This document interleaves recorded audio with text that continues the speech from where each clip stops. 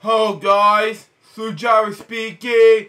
What was this episode number 1286? Terry Joe, um, pipe bands. So let's read episode, shall we? So we got for us.